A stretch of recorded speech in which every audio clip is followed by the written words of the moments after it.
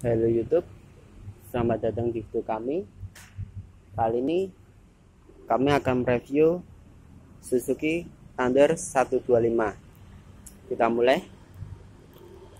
Untuk lampu, kristal multi reflektor.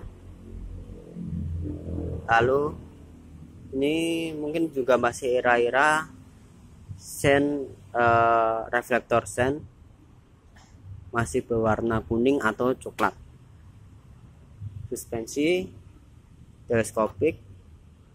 Tuh, ini buat tempat plat nomor. Velgnya alang 5 lalu untuk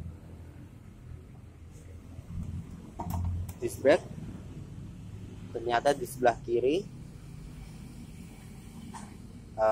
dengan kaliber double piston. Dan ban menggunakan WRC dengan profil ban 80 per 90 ring 18 cukup besar. Lalu di sini ada reservoir nyarem was rem. Dan uh, luas gas. Uh, ini dia ini ada tombol the switch. Lalu saklar lampu. Tombol starternya cukup kecil. Ini lumayan masih berat. Di sini ada speedometer tachometer lalu ada trimeter uh, indikator bahan bakar lalu indikator seperti ini netral dan ada juga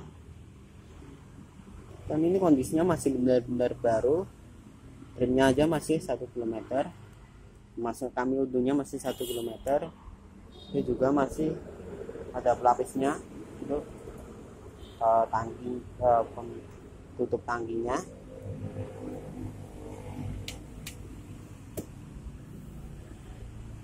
Lalu mesinnya 125 cc dan karburator.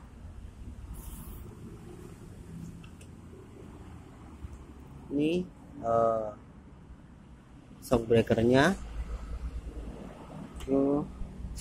di sini ada footstep di sini knalpotnya seperti ini. Ini mungkin sudah era-era knalpot tidak begitu panas jadi tidak begitu menyebabkan luka bakar. Lalu di sini ada rem tromol. Balok belakang menggunakan ban 90 mas kami ban belakang menggunakan profil ban 90 per 90 ring 17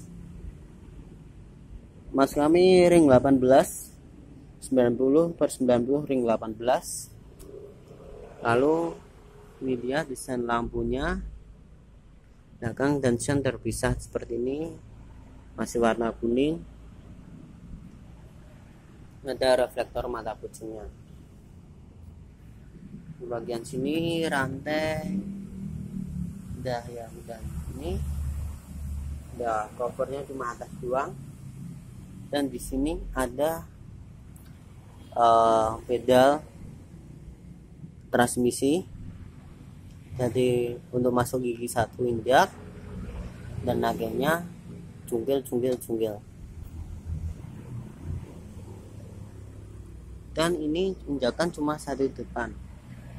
Untuk era-era ini motor sport persaingannya masih saingnya masih dua injakan tapi ini sudah satu injakan oke sekian video kami kali ini. Jangan lupa like share dan subscribe. Dan terima kasih telah menonton. Sampai jumpa